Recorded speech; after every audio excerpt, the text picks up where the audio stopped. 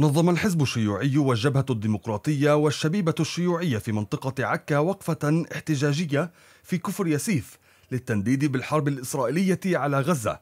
جاءت الوقفة احتجاجا على التصعيد العسكري الإسرائيلي المستمر ضد المدنيين في القطاع وتدمير البنية التحتية. اللي بيفكر إنه القعود بالبيت وإنه نفكر إنه إذا بنقول أخ ويا ويلي و أو أكتب مجرد تعقيب على الفيسبوك أو الانستغرام هذا بكفيش.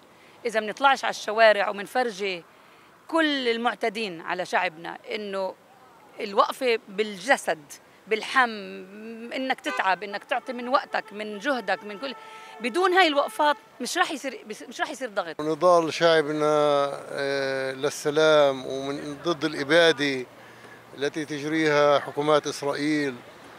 هذا آه، مفروض إنه كل الناس كل شعبنا يوقف قديش بيطلع بإيده في التضامن ضد الاحتلال من أجل السلام من أجل انسحاب إسرائيل من غزة. شهدت الوقفة مشاركة واسعة من مختلف الفئات المجتمعية ورفعت شعارات تندد بالعدوان وتطالب بالعدالة والحرية للشعب الفلسطيني في حين أكد المتظاهرون على عدم الانصياع للترهيب الإسرائيلي ضد المجتمع العربي وخاصة في ظل اعتقال أحمد عبادي عضو السكرتارية القطرية للجبهة والقيادي في الشبيبة الشيوعية حيث اعتبرت الجبهة هذا الاعتقال كجزء من مسلسل الملاحقة السياسية الترهيبية المرفوضة.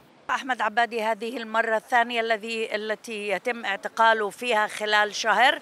وجرمه الوحيد أنه يطلق صرخة معنا من ضمن إطاره السياسي الحزبي وانتمائه للحزب الشيوعي يطلق دعوة لهذه المظاهرات. آه، نحن آه، نعتقد بأنه هذه سياسة آه، استمرار لسياسة كم الأفواه والترهيب. يعتقدون بأنه باعتقال الشباب وترهيبهم ومحاولة ثنيهم بهم عن المشاركة في النضال ضد آه، الحرب قد يأتي بنتيجة. نحن نقول أحمد صامد أحمد أقوى من كل هذا سيخرج من السجن ليكمل آه، نضاله معنا. ونحن أيضا آه، صامدون. تأتي هذه الوقفة كجزء من سلسلة فعاليات واحتجاجات مستمرة للتنديد بالعدوان الإسرائيلي على غزة وللمطالبة بإنهاء العنف والإبادة ضد الشعب الفلسطيني. في تأكيد على استمرارية تنظيم مثل هذه الوقفات والفعاليات حتى تحقيق العدالة والسلام للشعب الفلسطيني.